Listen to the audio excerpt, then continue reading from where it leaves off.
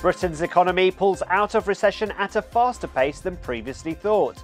Welcome to Market Insight. I'm Ramzan Karmali. GDP expanded in the first quarter of 2024 by 0.7%. That was above the initial 0.6% reading.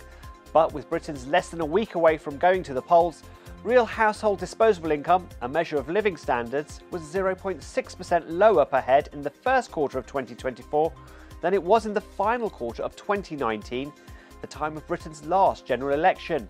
So, what does this tell us about the overall strength of Britain's economy? Well, to help answer that and more, I'm joined by Hetal Mehta, Head of Economic Research at St James's Place. Hetal, thanks so much for joining us. So, on the face of it, the GDP data looks to suggest that the UK economy is starting to gather pace.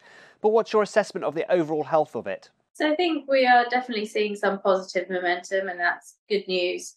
Um, given that you know some of the elements that were revised up, such as consumer spending, suggest that there is still some underlying strength there, and we know unemployment is still still quite low. So we think that combined with credit conditions easing, that we should start seeing uh, some some good economic growth. But Q1, I think, was probably a little bit strong for to, to be able to sustain that. But for the for the rest of the year, we still think we'll see some some good kind of trend like growth. Now, the gap between French and German 10 year yields hit 85 basis points today. It's wider since 2012. Investors are clearly worried about the outcome of the elections in France this weekend. Should we expect those worries to grow even more in the coming days? So I think um, so. It depends on what what the different uh, politicians are, are, going to say. But what we do know is that the French government is running a very big deficit. Um, some of the more radical policies being discussed are very fiscal expansionary, and whether that that tees us up for you know a bit of conflict with the European Commission is, is obviously going to keep keep investors, I think, nervous for, for a little while.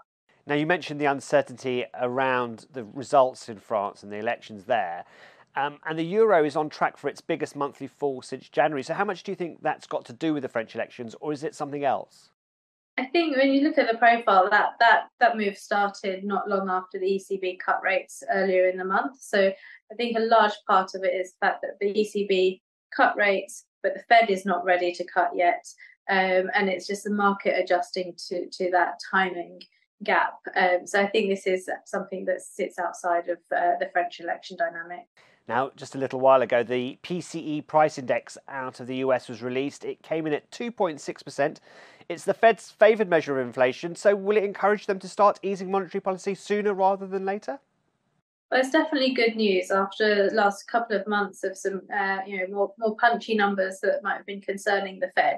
Um, when I look at the more dynamic measures such as three month annualized, um, that's still running, you know, quite a bit above uh, two uh, percent. That think we need to see a bit more progress on that.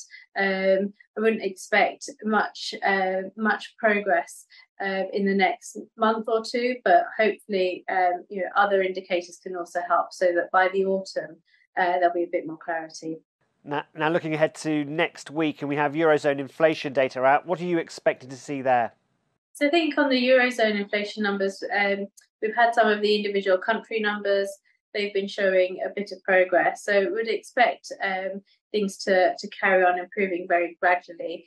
Uh, it's worth noting that the European Central Bank's own inflation expectations measure, um, three year expectations, has, has continued to edge down, which is also going to be good news for, for the ECB. So, do you think another ECB rate cut this summer might be on the cards? I think the summer might be a bit of a stretch, particularly if they don't get that clarity from from where other central banks are going to be. The exchange rate channel is something that the ECB is going to be very sensitive to, particularly if that then starts to re-stimulate any inflationary pressure. So I would not expect another summer cut from the ECB, but maybe, maybe a bit later in the year. Hetal Mehta from St James's Place, many thanks for your thoughts.